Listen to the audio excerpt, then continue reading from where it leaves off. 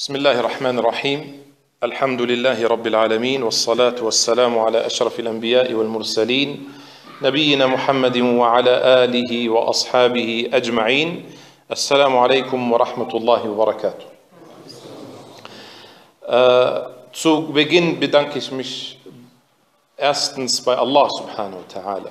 Ich danke Allah azza wa jal für diese Gabe, die er uns allen gewährte, dass wir uns hier im Hause Allahs azza wa jal treffen dürfen, dass er uns erlaubt, Allah subhanahu wa ta'ala zu gedenken, uns mit dem Koran und der Sunna zu beschäftigen. Möge Allah subhanahu wa ta'ala uns diese Gaben beibehalten und möge Allah subhanahu wa ta'ala uns zu denjenigen zählen, die das Gute hören und gemäß dem Guten auch handeln. Und dann bedanke ich mich bei allen Brüdern, Barakallahu fihim, äh, und Schwestern, die hier anwesend sind, bei der Organisation, beim Vorstand, die dieses organisiert haben. Das Thema, wie genieße ich Ramadan? Kurz vor Ramadan ist es angebracht, dass jeder von uns sich eine bestimmte Frage stellt. Und jeder muss sich diese Frage stellen. Wenn irgendeiner von uns denkt, diese Frage stellen sich nur eine bestimmte Sorte von Menschen, wir aber nicht, ich aber nicht, dann hat er die Religion nicht verstanden. Diese Frage lautet, möchtest du eine wahrhaftige Reue fassen vor diesem Ramadan oder nicht? Das ist die Frage, die sich jeder von uns stellen muss. Möchtest du zurückkehren zu Allah Azza wa Jal noch vor diesem Ramadan? Oder möchtest du durch diesen Ramadan wieder zurückkehren zu Allah? Oder möchtest du dies nicht? Und über diese Frage möchten wir heute inshallah reden und uns anschauen, was das überhaupt bedeutet und woher diese Frage überhaupt kommt. Denn diese Frage, wenn man sie richtig beantwortet, dann hat man das Geheimnis des Genusses des Ramadans äh, erkannt und somit kann man Ramadan genießen. Der Prophet sallallahu alaihi wa alihi wa sahbihi wa sallam sagte, من صام رمضان إيمانا واحتسابا غفر له ما تقدم من ذنبه. ومن قام رمضان إيمانا واحتسابا غفر له ما تقدم من ذنبه. ازاكت عليه الصلاة والسلام في رمضان فاستت. أو فغشتك oder رمضان فاستت. aus tiefem glauben heraus und in erwartung auf die belohnung dem werden all seine Sünden vergeben. Und wer Ramadan oder im Ramadan betet, aus tiefem Glauben heraus und mit der Erwartung auf die Belohnung, dem werden all seine Sünden vergeben. Das heißt, wir haben hier drei Aspekte, die wir behandeln müssen und beachten müssen. Punkt 1 ist, wer Ramadan aus tiefem Glauben heraus fastet. Zweitens, wer Ramadan in Erwartung auf die Belohnung fastet. Und drittens, dem werden all seine Sünden vergeben. Wenn wir uns diese drei Bestandteile uns näher anschauen, dann erkennen wir, dass diese Bestandteile nichts anderes als die Bestandteile der Reue sind. Denn At-Tawbah vollzieht nur derjenige, der an Allah glaubt. Und es vollzieht nur derjenige die Taube, der erwartet, dass er dafür die Belohnung bekommt. Und es vollzieht die Reue nur derjenige, der spürt, der einen Drang empfindet, die Vergebung zu erhalten. Denn derjenige, der denkt, er wäre ohne Sünde, der erwartet nichts. Derjenige, der denkt, er hätte schon die höchsten Stufen erreicht, der ist nicht sehnsüchtig nach Vergebung, nach Belohnung. Denn er denkt, er hat schon alles bekommen. Sicherlich wird er mit dem Propheten sallallahu alaihi wasallam in den höchsten Stufen des Paradieses sein. Und wer so denkt, der hat die Religion nicht verstanden. Warum? Weil nicht einmal der Prophet sallallahu alaihi wasallam dachte so. Als ein Gefährter starb, sagte eine Frau zur Zeit des Propheten sallallahu alaihi wasallam, herzlichen Glückwunsch für das, was du vorfinden wirst. Als der Prophet sallallahu alaihi wasallam dies hörte, sagte er, und wer sagt dir, dass er etwas Gutes vorfinden wird? Dann sagte sie, wenn nicht er, wer dann? Denn es war ein Gefährter, ein besonderer Gefährter, der auch in Razwati Badr äh, teilnahm. Und zwar Uthman ibn Mad'un. Und da sagte der Prophet sallallahu alaihi wasallam, Wallahi, und obwohl ich der Gesandte Allahs bin, ich weiß nicht, was mit mir geschieht, Yawm al-Qiyamah. Das heißt, der Prophet wassalam, hat sich nicht gesagt, ah ja, wenn ich der Prophet bin, das ist ja klar, wo ich dann bin. So wie viele von uns sagen, ah ja, wenn ich jetzt bete, dann ist ja klar, wo ich bin. Wenn ich jetzt faste, ist ja klar, wo ich bin. Sondern der Prophet wassalam, hat immer Allah angefleht, angefleht dass Allah ihn annimmt. Und deswegen sagte der Prophet sallallahu immer diesen Dua, O du, der du die Herzen drehst und wendest, lass mein Herz standhaft sein in der Religion. Das heißt, wenn wir da uns einig sind, dass jeder eine Tauba braucht und dass Ramadan von Allah akzeptiert wird, von jedem von uns, wenn er fastet und betet, wenn er eine aufrichtige Taube hat, müssen wir uns noch einmal die Frage stellen, wollen wir überhaupt bereuen? Was heißt das? Schlimm ist es, wenn jetzt je, der Einzelne unter uns an den Alkoholiker denkt, willst du denn bereuen vor Ramadan? An denjenigen, der nicht betet, oh, der meint bestimmt den, willst du denn bereuen vor Ramadan? An denjenigen, der irgendetwas anderes von den großen Sünden macht, willst du denn bereuen? Aber nicht an sich selbst willst du denn bereuen vor, vor Ramadan. Denn man denkt sehr gut über sich selbst und das ist eine große Sünde. Allah Azza wa Jal sagt, وَلَا تُزَكُّوا أَنفُسَكُمْ هُوَ أَعْلَمُ بِمَنِ اتَّقَى Das bedeutet, und seid nicht selbstgefällig, also äh, ihr sollt nicht gut über euch selbst denken, denn er ist wissender, also wer? Allah Azzawajal, er weiß eher Bescheid über die Gottesfürchtigen. Dieser Aspekt ist sehr wichtig, damit jeder von uns diesen Ramadan genießt. Ein Beispiel. Wenn jemand eine Arbeit sucht und er ist arbeitslos, er hat keine Arbeit, aber er denkt über sich, äh, besser kann es ja nicht werden. Ne? Ich, äh, ich lebe ja, ich esse und trinke, besser kann es nicht werden. Wird dieser Mensch sich einsetzen, eine Arbeit zu suchen, wird dieser Mensch sich einsetzen, um mehr Geld zu verdienen? Sicherlich nicht, er ist ja zufrieden mit seiner Situation. Aber der andere, der jetzt mitbekommt, es gibt jetzt einen Monat, da wirst du ausgebildet und am Ende kriegst du den besten Job. Und wenn es in China ist, der wird, wie wird er diese Tage empfinden, in denen er lernen wird, ja, sagen wir mal, das ist eine Umschulung und so weiter, und er weiß, ey, der Lohn ist 10.000 netto. Wenn der Lohn 1 irgendwas ist, dann wird er wohl nicht das genießen, weil er sagt, ja gut, kriege ich ja auch so. Ne? Aber wenn er weiß, okay, der Lohn, das ist also ein Lohn, ja, so ein, also ein richtiger Top-Manager-Gehalt, nur mit einer Ausbildung, einer Umschulung von 30 Tagen. Diese Umschulung an sich, diese Tage an sich, wird er sie genießen oder wird es eine Last für ihn sein? Was, denkt ihr? Warum wir das genießen? Also natürlich, wegen dem Geld.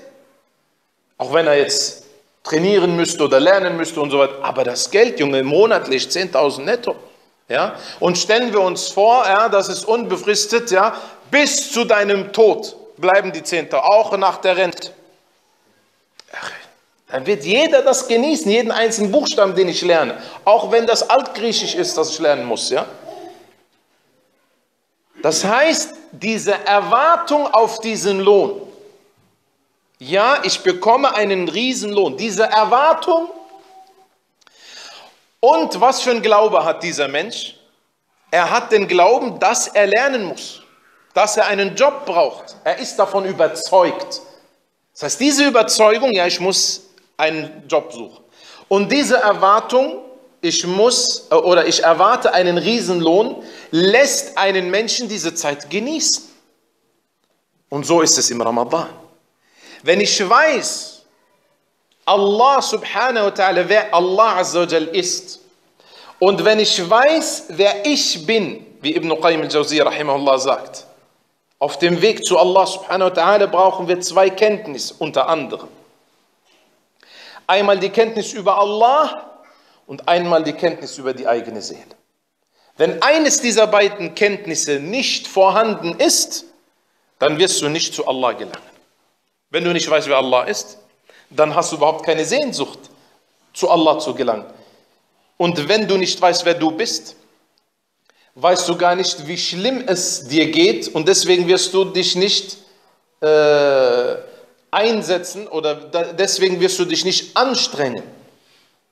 Und daher, Barakallahu fikum, müssen wir uns jetzt näher betrachten, was heißt es, aus tiefem Glauben heraus zu fasten, in Erwartung auf die Belohnung zu fasten und was heißt es, in Erwartung auf die Vergebung zu fasten. Wir wissen, liebe Geschwister, dass im Ramadan in jeder Nacht Allah Azza wa Menschen von der Hölle rettet. Möge Allah Azza wa uns dazu zählen in jeder Nacht. Das heißt, du solltest jede Nacht diese Erwartung haben, dass Allah dich von der Hölle rettet. Und wenn du richtig fastest, dann weißt du ja, dass Allah Azzawajal deine Sünden vergibt. Und wie ich vorhin in der Khutbah erwähnt habe, sagte Allah Azzawajal, das Fasten ist für mich und ich belohne. Und ich sagte, dass diese Aussage, ich belohne, ohne einen Maß anzugeben, ohne eine Menge an Belohnung anzugeben, vollkommen ausreicht als Motivation für den Menschen, um zu fasten. Warum? Weil du weißt, hier hast du es mit einem gütigen, großzügigen, äh, liebevollen, barmherzigen Gott zu tun. Aber die Frage ist, warum ist die Belohnung ohne ein Maß? weil du im Ramadan eine Handlung vollziehst, die Allah Azza wa Jal im Koran erwähnt hat. Und zwar ist das die Geduld, As-Sabr. Was ist die Belohnung für die Geduld im Koran? Was ist die Belohnung für Geduld im Koran? Ja, aber was ist die Belohnung? Nein? Gut, ja. Das Paradies, ja. إنما يوفى الصابرون أجرهم بغير حساب. Die, den Geduldigen oder die Geduldigen erhalten den Lohn ohne ein Maß, ohne Rechnung. Was heißt das? Das heißt, es ist unzählig. Der Lohn für die Geduld ist unzählig. Und da das Fasten nichts anderes als eine Form des Umsetzens dieser Geduld ist, ist der Lohn ebenfalls unzählig. Ist das klar? Wenn ich das nun weiß, unzählig, stell dir irgendetwas vor, wie Allah Azzawajal im Hadith Qudsi erwähnte, ich äh, habe für meine Diener im Paradies vorbereitet, was kein äh, Auge gesehen hat, äh, kein Ohr gehört hat und niemand sich je vorstellen konnte. Wenn ich dies weiß, erwarte ich dann eine geringe Belohnung äh, oder eine hohe Belohnung, eine große Belohnung? Sicherlich erwarte ich eine Riesenbelohnung. Und das ist der Ansporn, warum ich mich ändern sollte. Aber wir haben ein Riesenproblem. Was ist das Problem? Warum mache ich keine Taube? Diese Frage muss man sich stellen. Warum bin ich so besessen von einer Sünde? Ich weiß, dass sie haram ist. Das habe ich schon tausendmal gehört. Ich bin auch davon überzeugt, dass es haram ist. Ich bin auch davon überzeugt, dass das am Ende vielleicht ein Grund sein kann, dass ich in Jahannam lande. Ich mache es aber trotzdem. Warum? Weil mein Iman so schwach ist.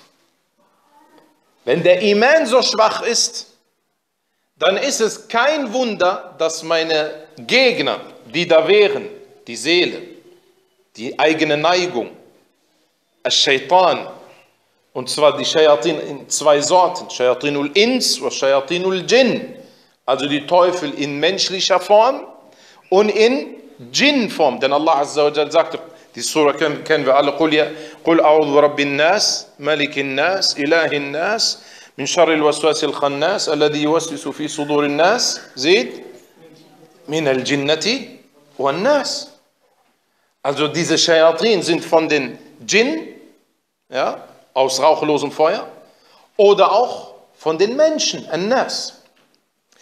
All diese Gegner werden mich aufrufen zur Sünde. Wenn mein Iman zu schwach ist, dann werde ich keine Sünde bereuen. Und deswegen, liebe Geschwister, gibt es viele Menschen. Warum beten sie nicht? Sie wissen ganz genau, wir müssen beten. Aber sie sagen sich, wenn ich bete, kann ich mir nicht mehr diese Sünde leisten. Weil es gehört sich nicht, wenn ich bete, dass ich da noch in der Disco lande, oder nicht? Weil er also an der Disco hängt, betet er nicht. Er weiß, dass er beten muss. Er wünscht sich zu beten. Oder die muslimische Frau, warum hat sie kein Hijab? Weil sie weiß, dass Hijab Fard ist. Und es tut ihr auch wirklich leid, dass sie kein Hijab trägt. Aber sie hängt an einer Sünde und sie sagt sich, es gehört sich nicht, wenn ich Hijab anziehe, dass ich diese Sünde mache. Zum Beispiel. Und so weiter und so fort.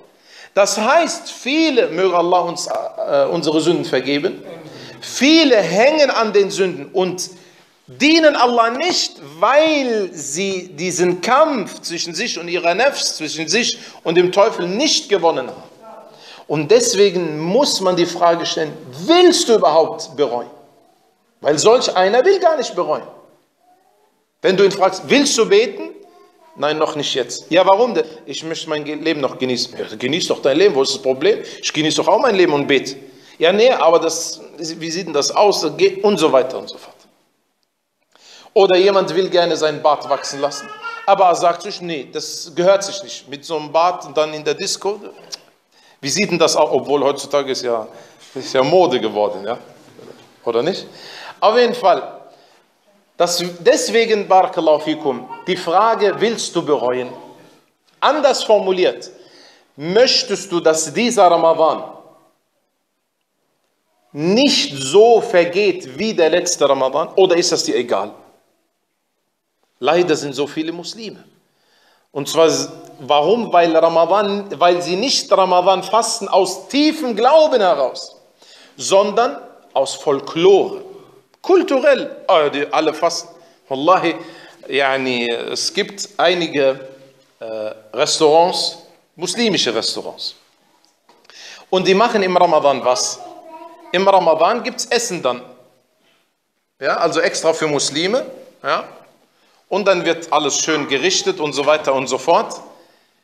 Und dann spielt, äh, kommt Adhan, ja, also Ton, also CD oder was das ist. Und subhanallah, so, das ist verwunderlich. Und zwar geschieht was? Hasbunallah und ni'mal wakil, da siehst du alle möglichen Menschen. Ja? Diejenigen, die nicht beten, diejenigen, die kein Hijab tragen, diejenigen, die Allahu A'lam, was sie alle für Sünden machen.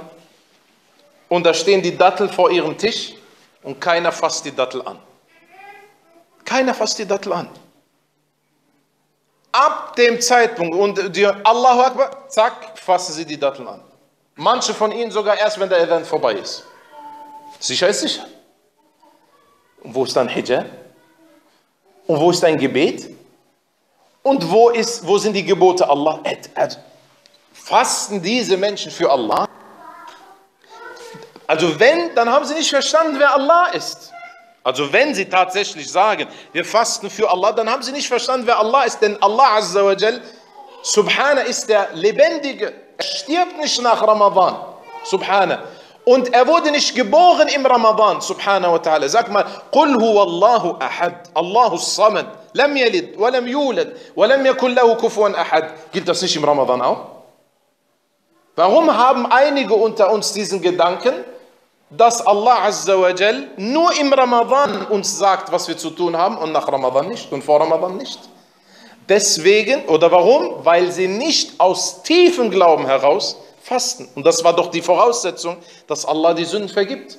Wer Ramadan aus tiefem Glauben heraus und in Erwartung auf die Belohnung fastet, dem werden all seine Sünden vergeben. Deswegen, Barakallahu fikum, müssen wir dieses verstehen. Aus tiefem Glauben heraus bedeutet, erstens, dass ich verstehe, dass Allah, der Allwissende, der Allfähige, der Unabhängige, der Reiche, subhanahu wa ta'ala, dass er diese Eigenschaften und diese Namen immer beibehält. Das ist ja unser Aqidah der Muslime. Allah Azza wa Jal war schon immer wissend und bleibt immer wissend. Allah Azza wa Jal war schon immer fähig und bleibt immer fähig. Er ist nicht nur eine bestimmte Zeitphase lang fähig oder äh, wissend. Das ist ein erster Punkt und das ist ja das Mindestmaß an Glauben, den man haben muss. Aber hört dieser Glaube hier auf? Was bedeutet tiefem Glauben heraus? Aus tiefem Glauben heraus bedeutet mit Ikhlas oder, oder nicht. Aus tiefem Glauben heraus bedeutet, dass du es einzig und allein für Allah machst. Aber was ist Ikhlas? Auch hier gibt es viele unter uns, die etwas, die den Ikhlas etwas eng sehen. Und zwar ist für sie Ikhlas, dass du nur für Allah betest. Also du betest nicht für die Kuh, nicht für den Affen und nicht für Buddha. Das ist Ikhlas. Ja gut, das ist ja ein Bestandteil des Ikhlas. Aufrichtigkeit bedeutet, du betest nur für Allah. War es das? Nein. Al-Ikhlas, liebe Geschwister, bedeutet, dass in deinem Herzen nichts anderes vorhanden ist als die Sehnsucht nach Allah.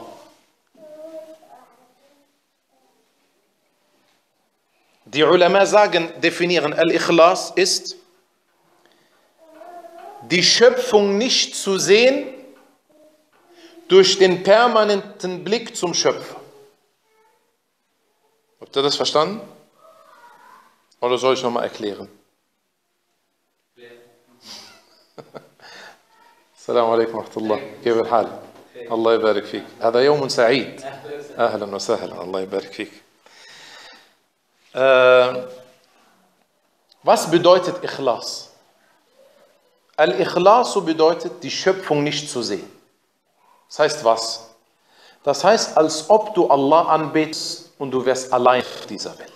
Wie würdest du dann beten? Weil das ist ja der Maßstab, ob du Ikhlas hast oder nicht. Wenn ich be alleine bete, immer in fünf Minuten bete und vor den Leuten immer in fünf Stunden bete, ja, dann kannst du ja ausrechnen, ob du Ikhlas hast oder nicht. Es gibt ja die Geschichte, weiß nicht, ob ihr die kennt.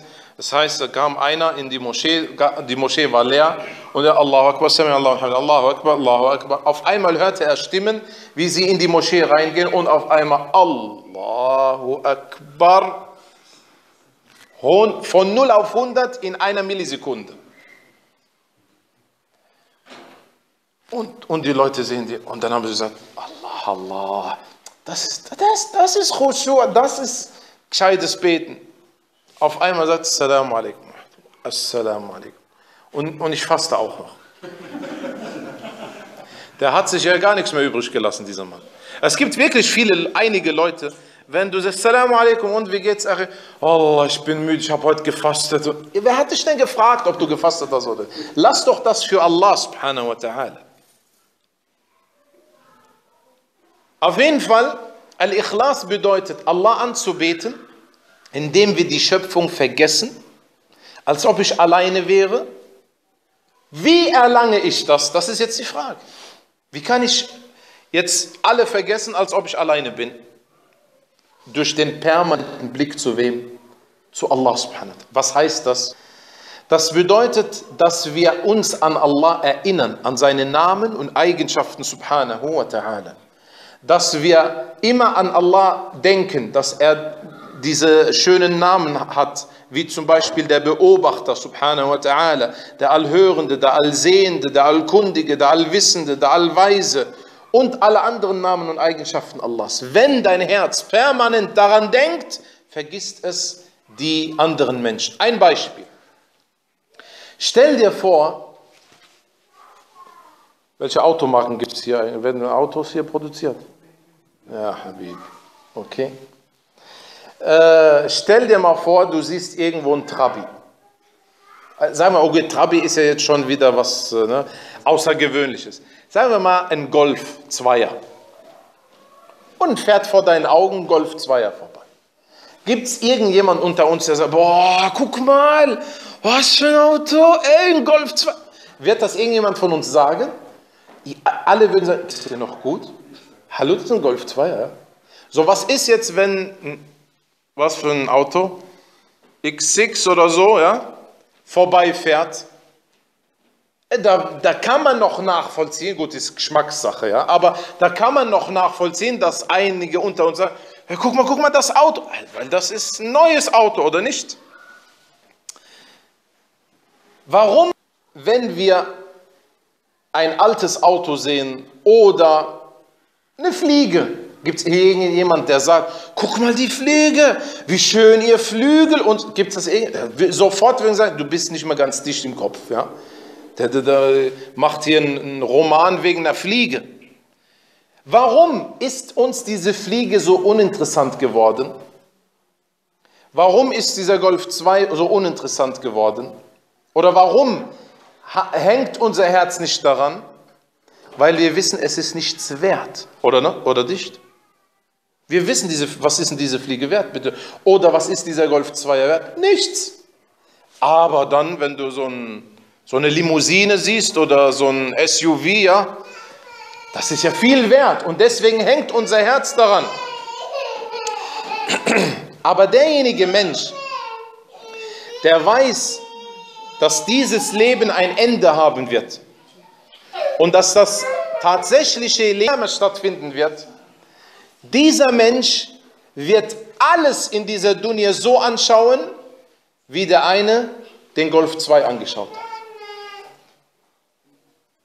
Ein Beispiel dafür. Stell dir vor, es kommt jetzt ein reicher Mann und er sagt, hör mal zu, ich gebe dir zwei Hektar Land. Einfach so geschenkt. Für drei Wochen. Du kannst machen, was du willst damit aber danach gibst du mir dieses Land zurück, samt dem, was du da drauf baust. Okay?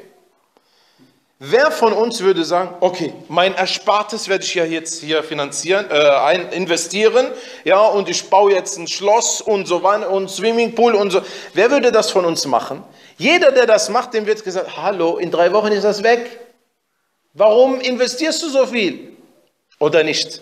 Ist es jetzt logisch? Hier sein Leben einzusetzen? Oder ist es logisch, einfach nur zu überleben? Ah, gerade mal die drei Wochen hier irgendwie um die Runden zu kommen, das war's. Sicherlich Letzteres. Und so ist die Dunya. Das heißt nicht, wir dürfen keine Autos haben. Kein, na, darfst du. Uthman ibn Affan, radiallahu an, war ein Abdurrahman ibn Auf, war sehr reich. Es ist nicht haram, reich zu sein. Aber was musst du dabei achten? Nicht auf Kosten meiner Religion. Nicht auf Kosten meiner Religion. Und das versteht der Gläubige, der aus tiefem Iman heraus Allah anbetet, der weiß, alles, was ich hier sehe vor mir an äh, Gebäuden und Autos und Landschaften und so weiter, alles ist vergänglich. Wie lange will ich denn leben?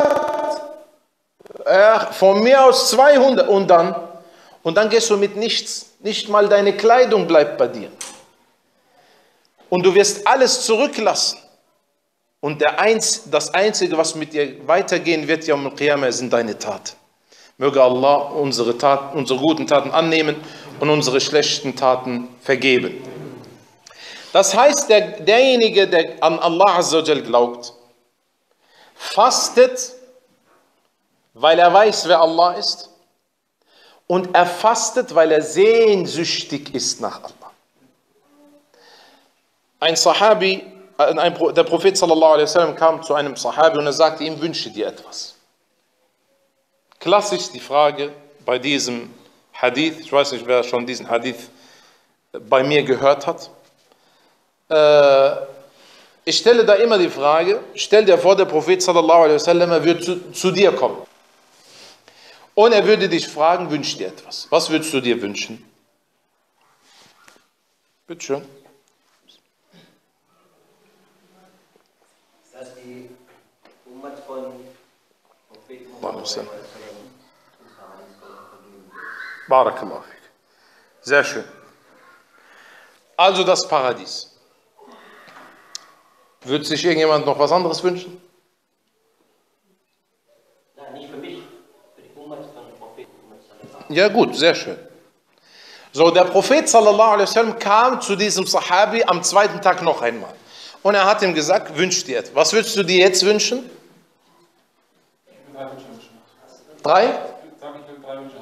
Noch drei? Ja, Habib. Ja? Dass du mit ihm zusammen im Paradies. Am dritten Tag kam er nochmal und er sagte, wünsch dir etwas. Was würdest du dir jetzt wünschen? Ich würde wünschen, ich würde wünschen, das, was du dir wünschst. Mir? Ja, was der mich jetzt fragt, dann würde ich sagen, jetzt hast du die Geburt, die ich dir erreicht. Ah, den Propheten, sallallahu Aha, drei. Was für Stufen des Glaubens ihr habt. MashaAllah, la billah. So, der vierte Tag, er hat ihn nochmal gefragt, was würdest du jetzt wünschen? Sag mal, wünscht ihr euch die Dunya nicht? Na? Ja, gut, drei Tage für die Akhira. Jetzt wird so langsam Zeit, oder nicht? Nur mal ein Haus auf den Malediven, jetzt mal endlich mal äh, ein Pool, ja, oder? Ach, drei. Gut, das darf ich jetzt nicht laut sagen. Und so weiter und so fort. Allah barik fikum. Der Gefährte sagte immer, ich möchte dich im Paradies begleiten. Was sagte ihm der Prophet sallallahu alaihi wasallam? Hilf mir, dir zu helfen, durch Vermehr, durch viel Beten. Was ich dir damit sagen will, ist, dass dieser Sahabi, warum? Weil er wünschte sich nur das, denn der Prophet, das habe ich vergessen, jedes Mal, als er ihn gefragt hat, wünscht dir etwas und er sagte, ich möchte dich im Paradies begleiten, sagte der Prophet sallallahu alaihi wasallam, noch etwas? Dann sagte er, nein. Das ist Ikhlas. Das bedeutet, wer von uns lebt jetzt und er will nur Allah sehen, sonst nichts. Und er will nur ins Paradies, sonst nichts. Noch einmal, bitte unterscheidet zwischen dem Herzen und an was es hängt und was wir nutzen, dorthin zu gelangen. Was meine ich damit? Es kann sein, dass du Multimilliardär bist und trotzdem nur an Allah denkst. Wie? Indem du dein Geld investierst in Angelegenheiten, die Allah liebt. Du ernährst damit deine Familie. Rasul sallallahu alaihi wasallam sagte, und das Stück Essen, das du in den Mund deiner Ehefrau legst, ist eine, eine Sadaqa, eine Spende. Das bedeutet, es ist überhaupt kein Widerspruch, reich zu sein und Ikhlas zu haben. Oder hatte Uthman kein Ikhlas, radiallahu anhu? Und Abdurrahman ibn Auf und die anderen. Natürlich hatten sie Ikhlas. Das bedeutet, wie die Ulama sagen, liegt dein, das, die Liebe zum, zum Geld, liegt das Geld in deiner Hand oder in deinem Herzen? Das Geld und das Vermögen muss in deiner Hand liegen, denn dann kannst du es sehr schnell verlassen. Aber wenn es in deinem Herzen verankert ist, dann wird es nie daraus kommen. Also, Barakallahu fikum, Ramadan zu fasten mit tiefem Glauben oder aus tiefem Glauben bedeutet erst einmal zu verstehen, Allah Azza wa Jal lebt immer, im Ramadan und außerhalb vom Ramadan. Und zweitens, aus Glauben heraus bedeutet, dass man nur Allah sich wünscht. Nichts anderes. Weder die Dunya noch etwas anderes. Ich nutze die Dunya, ja, aber um was zu erreichen? Nicht um die Dunya zu erreichen. Sondern ich nutze die Dunya, um Allah subhanahu wa ta'ala zu erreichen. Der zweite Punkt war was? Und mit der Erwartung auf die Belohnung. Mit der Erwartung auf die Belohnung bedeutet, dass ich mir diesen Lohn nicht entgehen lasse. Und deswegen, wenn jemand so fastet, wird er dann leichtsinnig mit seinen guten Taten umgehen? Er hat jetzt Tarawih gebetet, mashallah, und er hat äh, Qiyamul, äh, dann Tahajjud vielleicht noch gemacht und Koran gelesen und so weiter und so fort. Wird dieser Mensch am nächsten Tag oder vielleicht sogar in der, äh, in der gleichen Nacht, wird er dann seine Hasanat wieder wegschmeißen? Ein Beispiel noch einmal, um das zu veranschaulichen. Stell dir vor, jemand hat viel Geld verdient in einem Handel. Wird er dann dieses Geld einfach so wegschmeißen oder wird er es so einsetzen, dass er davon profitiert? Er sicherlich wird das so einsetzen, dass er davon profitiert. Und deswegen, wenn du oder wenn deine Seele dir sagt, lästere bitte jetzt, rede mal. Und das Allerschlimmste ist ja was? Zu lästern im, in der Moschee zum Beispiel. Oder zu lästern äh, über Gelehrte. Also irgendwas, was mit Religion zu tun hat. Ja? Also äh, nicht, dass es ausreicht, dass schon die Sünde schlimm genug ist. Nee, nee, man macht es noch in der, in der Moschee. Hast du nicht den gesehen? Hast du nicht jenen gesehen? Guck mal, wie der betet und so weiter und so fort. Und das ist natürlich eine fatale Angelegenheit, denn diese Sachen werden dazu führen, dass diese Hasanat weggehen, möge Allah uns davor bewahren.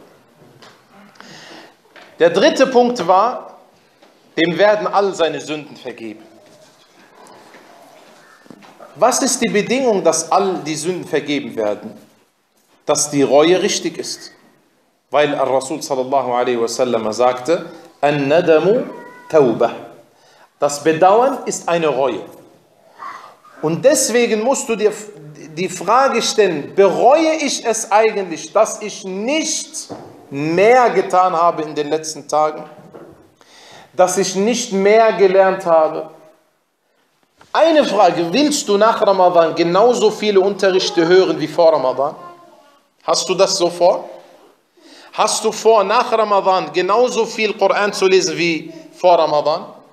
Das heißt, geht Jumu'ah, ja, Gut, die, die anderen, die Christen gehen in die Kirche, gehen in die Moschee, einmal die Woche. Ansonsten unterscheide ich mich eigentlich nicht von denen. Ja. So will ich so leben. Oder nehme ich mir jetzt vor, dass der Unterricht in der Moschee so wird wie Jumu'ah. So genauso wie ich alles stehen und liegen lasse, damit ich zur Jumu'ah gehe, so lasse ich auch alles stehen und liegen, um meine Religion zu lernen. Das ist etwas, liebe Geschwister, was einfach nicht verständlich ist. Kommen wir nochmal zu dem Job. Wer von euch, liebe Geschwister, würde Chinesisch lernen, wenn er dafür 10.000 netto bekommt? Monatlich. Gibt es hier jemanden, der es nicht macht? Also, entschuldigt, ja. Dann, dann wären wir ja nicht mal ganz, ne?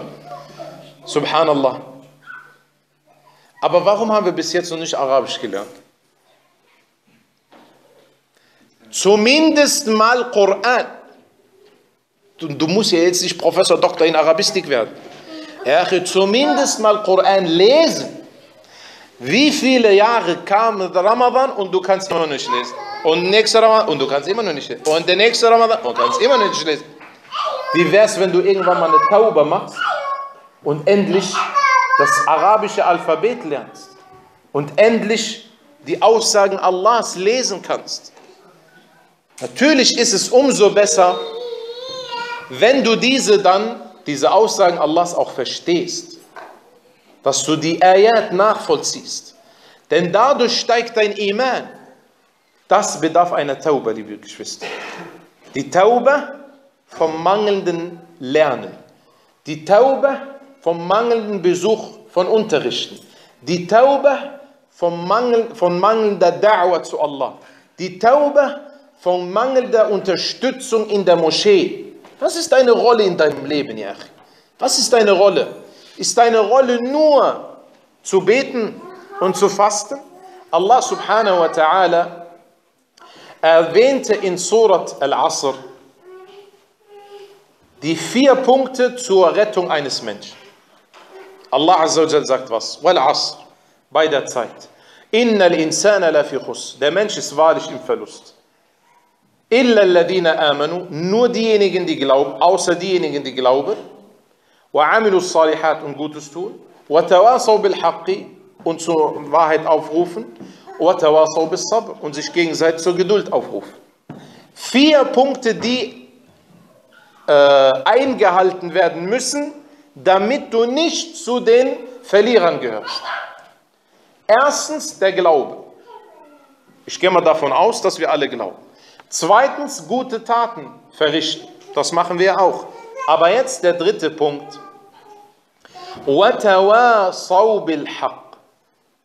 Die sich gegenseitig zur Wahrheit aufrufen. Welche Rolle hast du in deinem Leben, dass du zur Wahrheit aufrufst? Was machst du? Zumindest mal, dass du die Dauer unterstützt und du guckst, wo du lebst. In deiner Stadt die Moschee, in deiner Stadt irgendwelche Daueraktivität. Hier ist natürlich wichtig, liebe Geschwister, Ad-Da'wah ist eine Ibadah. Oder ist es keine Ibadah? Ad-Da'wah ist eine Ibadah. Warum? Weil Allah uns dazu aufgerufen hat. Und alles, wozu uns Allah aufruft, ist eine Ibadah. Rufe auf zum Weg deines Herrn. Das bedeutet, Ad-Da'wah ist eine Ibadah. Und wenn Ad-Da'wah eine Ibadah hat, hat es dann Bedingungen oder nicht? Oder kann jeder machen, was er will? Wie sind denn so die Ibadat, die Gottesdienste im Islam? Kann jeder machen, wie er will? Ihr sollt beten. Oh ja, dann bete du mal so, du mal so. Ihr sollt fasten. Oh ja, dann mach, fast du mal nicht essen und der andere nicht essen und nicht trinken und der andere. Ist das jedem selbst überlassen? Nein. Die Preisfrage jetzt ist, Glaubt ihr in der Dauer, ist es jedem überlassen, selbst Dauer so zu machen, wie er will? Natürlich nicht. Natürlich nicht, aber leider verstehen es sehr viele Menschen nicht. Warum? Allah Azza wa Jal erwähnte die Bedingungen der Da'wah. Ud'u ila sabili rabbika bil hikmati wal maw'idati al hasanati wajadilhum billati hi ahsan. Rufe auf zum Weg Allahs Azza wa Jal mit Weisheit und in guter Ermahnung und diskutiere mit ihnen auf beste Art und Weise.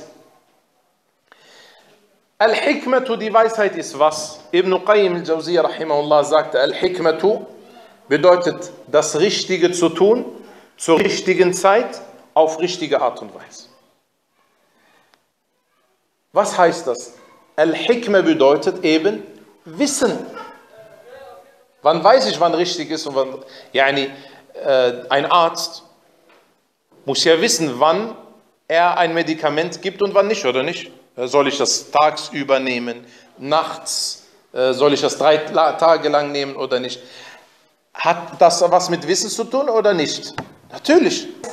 Etwas auf weise Art zu nutzen, hat was mit Wissen zu tun. Und deswegen sagt Allah in einer anderen Ayah, قُلْ هَذِهِ سَبِيلِ أَدْعُوا إِلَى اللَّهِ عَلَى بَصِيرًا Sagt, dies ist mein Weg, ich rufe zu Allah auf mit Einsicht. Basira ist die Einsicht, also mit Erkenntnis, mit Wissen.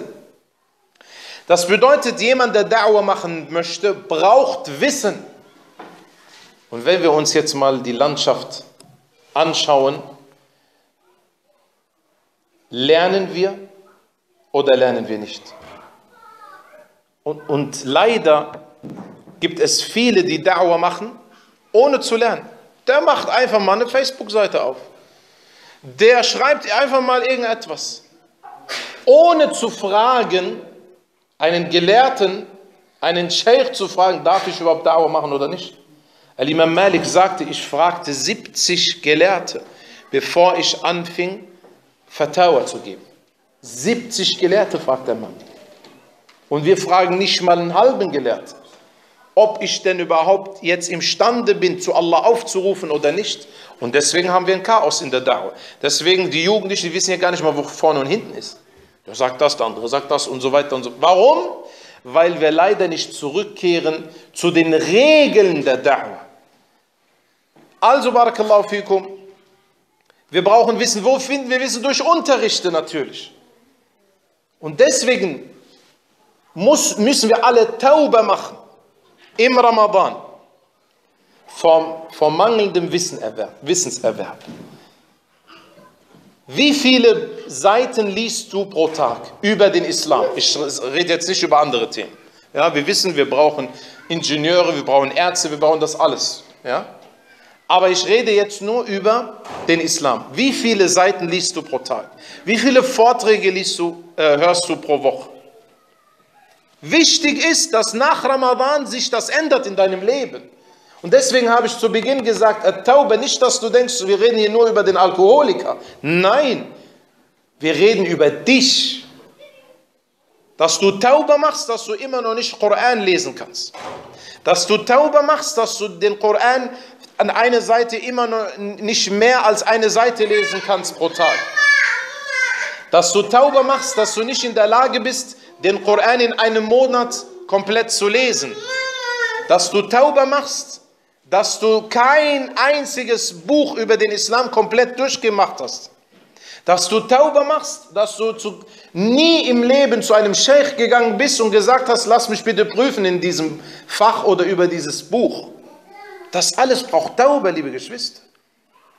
Und deswegen, wir dürfen das nicht eng sehen. Tauber, nur der äh, Zauberei macht, der soll mal Tauber machen, weil ich, Alhamdulillah, Rabbil Alamin, mache es ja nicht. Also brauche ich keine Tauber zum. Nein, nein. Du brauchst auch eine Taube. Deswegen sagen die Ulama, wer denkt, seine Taube ist endet, braucht eine Taube. Wer denkt, seine Taube ist vollendet, und deswegen Fudail ibn Iyad, rahimahullah, äh, er war mal ein Dieb gewesen früher, ja, ein, ein Qata' Tariq, yani. ja. also das sind äh, schon äh, brutale Leute. Er überfall, überfällt halt Karawanen und so weiter und so fort. Ja? Wie nennt man das eigentlich, dieses Delikt im Deutschen? Raubüberfall, oder? Oder sowas ähnliches, klar. Bitte? Oder bewaffneter, das so, so einer war da, ja? Also so beraub, bewaffneter Raubüberfall. Aber auf jeden Fall hat er dann Tauber gemacht. Dann ist er nach Mekka gegangen und ist dort geblieben, also dann dort aufgewachsen, also dort geblieben und im hohen Alter hat er immer noch geweint. Und dann sagte man ihm, warum weinst du denn? Dann sagte er, ich weine wegen meinen früheren Sünden. Dann hat, haben sie ihm gesagt, ja, aber du hast doch Taube gemacht. Dann sagte er, aber wer sagt mir, dass die Taube angenommen wurde? Das sind Leute, die haben verstanden, worum es geht. Nicht unser einer, der denkt, oh, die Taube, warum soll ich nochmal Taube machen? Das war doch schon von vor zwei Stunden. Ja? Der denkt, Alhamdulillah Rabbil Alamin, da er jetzt gesagt, Astaghfirullah, Punkt, das war's. Und die Ulama sagen, die, Vers die Verspätung der Taube bedarf einer Taube. Oder nicht? Jemand, der eine Sünde begeht. Darf er irgendwann Taube machen oder muss er sofort aufhören? Äh, die erste Voraussetzung der Taube ist sofortiges Beenden dass du die Taube sofort antrittst. Und das Verspäten der Taube bedarf wieder einer Taube. Deswegen, Barakallahu fikum, im Ramadan müssen wir Taube machen, dass wir zu wenig Sunna beten. Wir müssen Taube machen, dass wir so wenig die Moscheen besuchen. Wir müssen Taube machen, dass wir zu wenig Liebe untereinander haben. Die Sunna, die verloren ist. Nicht ganz, aber bei vielen Menschen verloren ist, seinem Bruder zu sagen, ich liebe dich für Allah. Das ist eine Sunna. Warum beleben wir diese Sunna nicht? Und so weiter und so fort. Also, liebe Geschwister, wer Ramadan genießen will, muss den Ramadan aus tiefem Glauben heraus fasten. Das heißt, er muss wissen, für wen fastet er? Für Allah. Und Allah Azza wa Jal hat noch andere Gebote uns auferlegt. Also hält sich der Muslim an alle Gebote. Zweitens, für Allah zu fasten bedeutet, man hat keinen anderen Wunsch in seinem Leben, als Allah Azzawajal zu sehen im Paradies und die höchsten Stufen zu erreichen. Das widerspricht nicht, glückselig auf der Erde zu leben und reich zu sein, sondern benutze dein Reichtum, benutze dein Wissen, benutze deine Stellung, um näher zu kommen zu Allah Ta'ala. Und der zweite Punkt war aus in Erwartung auf die Belohnung. Das bedeutet, dass der Mensch geizig umgeht mit seinen Hasanat. Geizig umgeht mit seinen Hasanat, sodass er sie nicht vergeudet durch einmal Lügen hier, einmal Lästern hier, einmal sich lustig machen hier. Und dann, und dann sind die Hasanat weg, wie der Prophet sallallahu alaihi wasallam über eine Frau gesagt hat. Man hat ihm gesagt, ja, sie betet viel. Und er sagte, alaihi wasallam, sie ist in der Hölle. Warum? Weil sie hat den beleidigt und sie hat den äh, verspottet und so weiter und so fort. Und der dritte Punkt ist, dem werden seine Sünden vergeben. Welche Sünden möchten wir vergeben bekommen? Nicht nur das Lästern, sondern unsere mangelnde Aktivität zu Allah hin, unser mangelndes Lernen von Wissen. Leider, liebe Geschwister, Wer, wenn nicht wir, sollen hier die Dauer verbreiten? Wer soll das? Sollen, das, sollen wir die Buddhisten herholen, damit sie die Dauer verbreiten? Nee, wer soll das denn machen, bitteschön? Und wenn du nicht lernst, wie willst du die Dauer verbreiten? Stell dir bitte vor, die Sahaba hätten so diesen, diese Art, die wir jetzt haben. Oh, ja, gehen wir mal hin. Wenn's, haben wir was anderes zu tun? Nee, ja gut, dann gehen wir mal hin. Stellen wir vor, die Sahaba hätten sich gesagt, ja, äh, nach Ägypten, ja, will jemand von euch nach Ägypten? Nee, ich nicht. Du? Nee, ich auch nicht. Na, lass mal. Wäre Ägypten muslimisch? Hätten wir einen Imam Bukhari, wenn die Sahaba so gedacht hätten? Aus Usbekistan? Wenn die Sahaba gedacht hätten, geh du, nee, nee, geh du, nee, nee, nee geh du. Deswegen, Barakallahu fikum, in 10, 20, 30, 40, 50 Jahren werden die Leute sagen, Barakallahu fihim, diese Geschwister in Regensburg. Die waren so aktiv in der Da'wah, die waren so ein, ein, also ein Gebäude, ich meine damit, also ein, wie der Prophet sallallahu alaihi wasallam sagte, kal jasadil wahid, wie ein, ein Körper. Und sie waren, Alhamdulillah, in den Aktivitäten haben sie sich immer abgesprochen. Oder soll es heißen, nach 50 Jahren, gab es überhaupt Muslime in Regensburg? Ich habe nie was vom Islam gehört. Ja? Und das muss sich, müssen sich alle Muslime sagen in allen Städten. Welche Rolle hast du in der Verbreitung des Islams? Und hier nochmal bitte, das ist der wichtige Zusatz, bitte immer in Absprache mit Gelehrten. Alhamdulillah, Gelehrte gibt es viele auf dieser Welt. Auch in Deutschland. Bitte immer in Absprache mit Gelehrten, welches Dauerprojekt ist am besten, welches Dauerprojekt ist jetzt angebracht, wie sollten wir das machen und so weiter und so fort. Ja?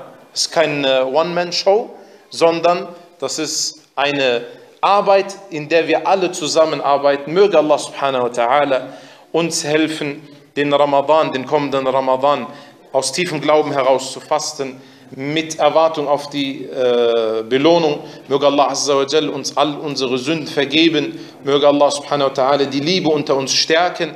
Möge Allah Azza wa Jal uns einsetzen für seine Religion. Möge Allah subhanahu wa ta'ala uns äh, erlauben, diese Religion zu unterstützen. Möge Allah subhanahu wa ta'ala uns diese Ehre geben dass wir zu ihm aufrufen dürfen, die Menschen mit ihm bekannt machen dürfen und möge Allah subhanahu wa ta'ala von uns diese Taten annehmen. Jazakum Allahu khairan. Wassalamu alaikum wa rahmatullahi wa barakatuh.